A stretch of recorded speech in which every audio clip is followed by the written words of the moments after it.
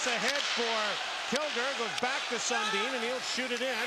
As given a bump there, Cam Janssen. Now Tucker drops the gloves with Cam Janssen after he gave Sundin a bit of a shot.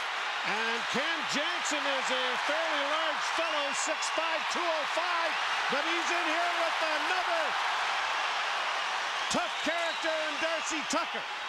117 minutes and penalties for Janssen in 25 American League games this year. He's been cut too. I think Tucker's got one off the side of the cheek that Janssen had. And Tucker trying to throw a jab and then an overhand right, and Janssen comes back with one of his own. And Janssen's been cut below the left eye there. Well, you talked about him. In the, talked about him in the opening, yeah. Harry. This is the kind of stuff. I mean, Darcy Tucker brings this, and it's he is uh, he lives on an edge. He plays on an edge, and he's got a talent for scoring goals as well. But he never has taken a backward step from his days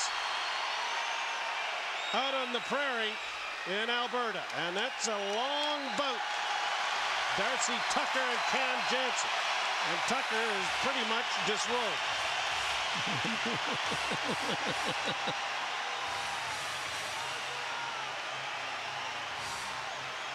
That all started when Janssen took a run at the lead captain. Will they give Tucker an instigator penalty on this, though?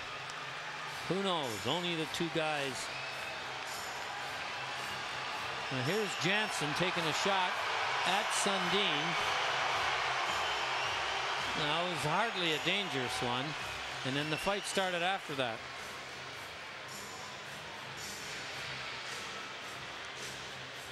Discussion at the bench still going on about the length of the penalties.